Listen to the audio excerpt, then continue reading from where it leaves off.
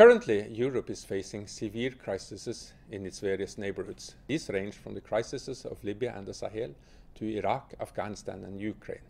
Europe cannot isolate itself from these crises, but must stay engaged with them. This means that Europe needs to uh, be able to develop better tools for crisis response. And this is precisely what my project EUNPACK is trying to help the European Union to do. If you would like to know more about uh, our project EUNPACK, please visit our webpage www.eunpack.eu. Thank you.